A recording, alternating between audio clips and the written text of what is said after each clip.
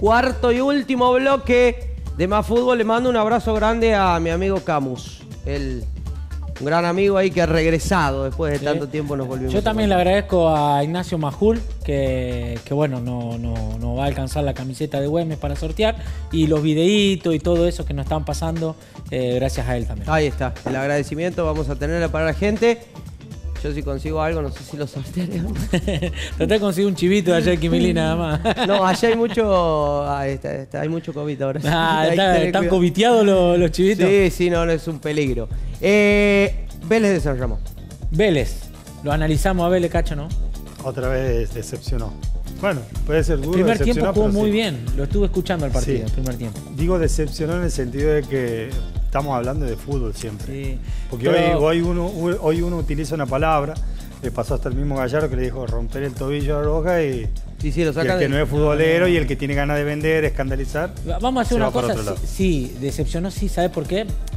Porque nosotros pues, esperábamos más. Claro, sí. Nosotros esperábamos más. Contrató muchos jugadores de, de experiencia, de nivel. Fíjate la cancha linda dentro de todo, ¿eh? Bastante bien. Eh, el Lindo primer el estadio, jugó Carlos bien, Augusto Güemes. Mercado Eh, Luna. Vélez. ¿Cómo Mirá. el estadio, Cacho? Carlos Augusto Mercado Luna. Ahí está. Miércoles, che, más nombre que yo tiene. Sí. Con Andi- Andino. A- Andino, bueno, lo hemos hablado de Andino, que tenía eh, jugadores importantes también Andino, ¿eh? Sí, Y había ganado. Te digo, eh, Germán, a diferencia del otro partido, del primero de Vélez que empató, bueno, el Anguila López en el arco, Matías Noriega jugó por el lateral derecho con Peila, Elías Orellana en la saga central y salto por izquierda, Enzo Acuña por derecha, el Rata Abdala con Augusto Ávila en el doble 5 y Miguel Aranda por izquierda. Y ya hubo cambios, Miguel Aranda se fue lesionado enseguida. el Mono González y Emanuel Curi Salvatierra. O sea que en ese partido recibió de Álvaro Orellana, de Hugo de Marco, de Franco Santillán. Yo no, Álvaro Orellana a mí me gusta, es un Sí. jugador que le da dinámica a Cacho. Y lo hemos hablado el otro día. Eh, bueno, Santillán no jugó, No, no, estaba lesionado ya. estaba lesionado. Y, y bueno, volvió Matías Noriega, buscó cerca, estuvo Vélez ahí. Sí, Vélez eh, jugó bien el primer tiempo, Sí, estuvo cerca, estuvo cerca Vélez de, de marcar el, el- el primer gol del Sí, partido. entró Marcelo Acuña, Germán, por, por Aranda en el Sí, sí, tiempo. dos. salió lesionado muy rápidamente Aranda. Brian Pinto en el segundo tiempo por Enzo Acuña. Álvaro por Marcelo Acuña. Y Hugo de Marco, bueno, salió por Miguel Aranda seguramente. Ingresó Hugo de Marco por eh, Augusto Ávila en el segundo tiempo. Augusto Ávila salió lesionado. ¿sí? Por eso sale Augusto Ávila. Vemos muchos centros. No fue un gran partido el primer tiempo, pero Vélez estuvo cerca, Vélez. ¿eh? Sí. Acá bien la anguila saliendo en el centro. Qué lindo verlo tener minutos la anguila. eh. Y sí, bueno, viste. Sí, porque va madurando. El otro día en el gol que le hacen, eh, él cuando, cuando- eh, seguramente eso le va a servir para de aprendizaje de que tiene que jugar un poco más adelantado Sí. Así es. y jugársela en ese, en ese mano a mano para. Mirá acá, solo estaba habilitado, ¿eh? Muy. eh, un- un- una jugada clara, ¿eh? Clara Ah. que la terminó, la terminó desperdiciando el jugador de Vélez, pero una situación mano a mano. ¿eh? Sí. Mano a mano. Después mucho, mucha falta y caían cortado, cerca. sí. Sí, muy cortado. Y, y bueno, ahí Javier Peira rechazando la pelota en un centro complicado. Ahí Orellana también sa- saliendo. Pero fíjate cómo quedaba. Por ahí no salía rápido. Ahí está el gol, ¿eh? Eh, Ahí está el Ahí lo marcó bien Vélez. Mirá el 9, Germán. Mirá, no estaba, no Sí. estaba adelantado, ¿eh? No, no. No estaba adelantado. Ahí Javier pide posición adelantada, pero no vi posición adelantada. En... Sí, el gol de Carlos de Gorno. Sí, la anguila Para también de pedía. Rioja. Sí, sí, pero Sí, no, no, no, va. Ahí habría que, que verlo. Eh, el árbitro catamarqueño. Eh, ahí está el festejo. José Silva Castaño. ¿Y el hombre de Andino que hizo el gol? ¿Se puso la pelota abajo o no? no, no. Ah, entonces, no, no, no, que no se tome mal, no, pero pensaba que se le había puesto abajo, no, pues después me van a decir cualquiera. No. Para mí había mano en el segundo gol de, De Andino. de Andino. Mirá qué mal. Vélez aquí. Hay mano, quedó- eh. sí. Mira, mano, eh. Sí, Y clarito. se la lleva. Mano, es mano. ¿Por Esa sí, esa sí hay que discutirla porque es mano. Es Pablo Videla el que anota el segundo gol. Esa, esa sí, esa. Y fue a los 48 minutos Sí. ya. ¿Y el Eh, achique estaba bien de López? Eh, bueno, chica, pero. Para mí sí. eh, no, no. No sé Aunque cuál es su palo ahí, sí. Eh, No es su palo, porque va por la mitad. Sí. eh, entra por la mitad. Pero se frustró mucho igual el gol. Bueno, le pasa eso a la Anguila con le hacen un gol, ¿eh? Sí, sí, sí, sí. Pero eh, le fueron a discutir bien el tema que, que había sido mano. ¿Viste? Bueno. Cuando hay que decirlo, hay que remarcarlo. Y, y Vélez que quedó dependiendo de un milagro Sí, prácticamente. de un milagro. Bueno, Andino Sí. de Rioja decíamos que le ganamos a 0 a Vélez. San Martín del Bañado perdió con el Ocotero, con San Lorenzo de Alem 2 a 0. Quedó libre Américo ¿Con quién? ¿Con quién? Con los Ocoteros de San Lorenzo de Alem. Ah, ahí El está. Ocotero. Eh, puntero Andino con 6, San Lorenzo de Alem con 3. San Martín tiene un punto, al igual que Vélez, y Ah, Américo tiene- Tesorieri. A ver, que me sorprendió el director. No. Dice Ah. que tiene tabla. Bueno, ahí, Ahí está. está, mirá.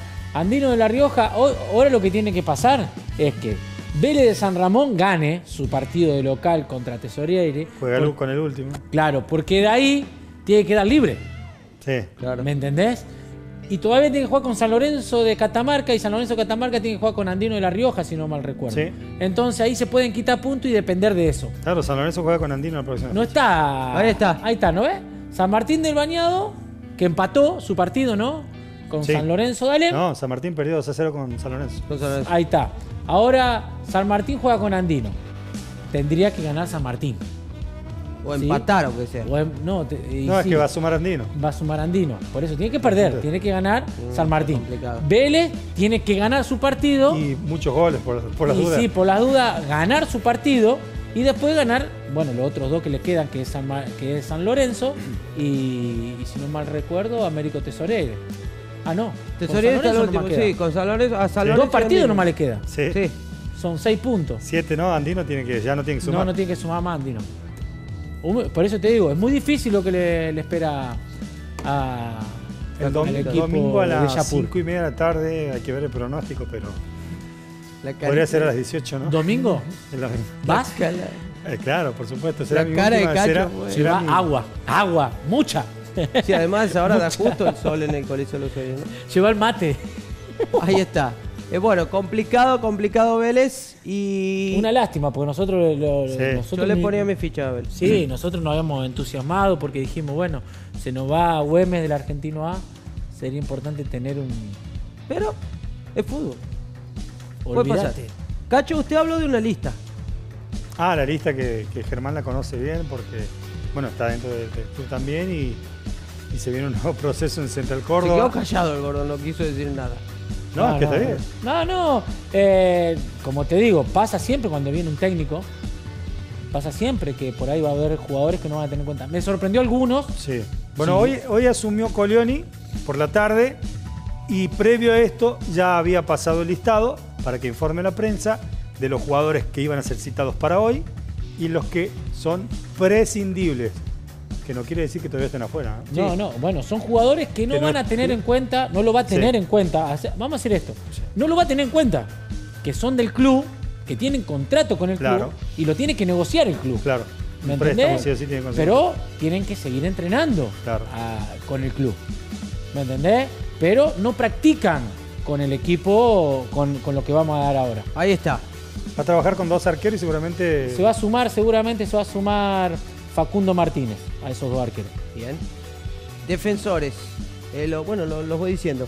Quiles, Oscar Salomón, Federico Anduesa, Alejandro Maciel, Jonathan Bay y Nahuel Vanegas. Hugo Vero Oviedo y Franco Futoni están en periodos de rehabilitación eh, después de, de las operaciones, digamos. Yo veo varios refuerzos ahí. Sí, yo también. Para mí, ¿no? En la defensa. En la defensa va a traer uno o dos jugadores. Sí, seguramente.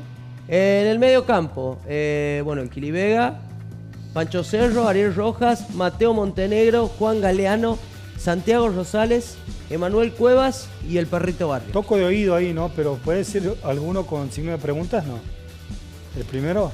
Yo, yo creo que. ¿El Sí, sí, primero. Germán? ¿Puede ser con signo de preguntas? ¿Cristian Vega? Ajá. Es que hubo No. como despedida. No en las toco de oído, pero digo. No, yo vi como despedida en las redes de parte de los amigos aquí. Algo de eso vi. Yo, No sé si- por qué, pero. Si no lo mencionaba Yo, Cacho, yo no te me digo no- que vos ahí vas a es necesitar. el capitán, ¿eh? Está bien, vos ahí vas a necesitar un un 5. Sí, porque se ya cuando pase la otra lista vamos a ver uno Por que eso, vos vas a necesitar un 5 ahí, eh, porque Francisco Cerro y Ariel Rojas sí son cinco que te pueden jugar en la mitad de cancha, pero no son esos cinco recuperadores que van a correr para un lado, que van a hacer. No, no es Vega, digamos. No lo veo, no lo veo. Mateo Montenegro puede ser verlo como Cristian Beba, Mateo Sí. Montenegro. Pero, eh, y lo tenía Juan Galeano, que hay que ver si es de consideración Sí. eh, o lo tiene Colioni como para decir, che, por las dudas, vamos a. Por a- ende, no lo puso en los prescindibles, así que ya es por un voto eso. de confianza. Santiago Rosales, eh, Manuel Cueva y Nahuel Barrios. Bien. Eh, los delanteros, Sí. yo creo que ahí no va a traer jugadores. Para mí, ¿eh? Yo creo Brochero, que Argañarás, Riaño, Rivas y Pinto. eh, hay que ver. Ahí tiene un pollo Germán Pinto. ¿eh? Eh, es mío. ese ese es No mi pollo. Ese es mi pollo. Ah, ah, te- te- ya lo tiene. Ya, ese, es mi pollo. ¿no? Te soy sincero, ese es mi pollo. Axel. Eh, y también tengo otro que. Tengo unos cuantos ahí en la reserva, pero eh, me gustaría verlo también a Bien. Pablito Barraza. Vamos a los prescindibles en Central Córdoba. Cafarati era sabido. Sí. Era, eh, podía, ser- podía pasar. Cristian Díaz, Ese me sorprendió muchísimo. Iván Ramírez, Ese estuvo jugando. Leandro Vela. Mami Vela es un jugador interesante. Sí.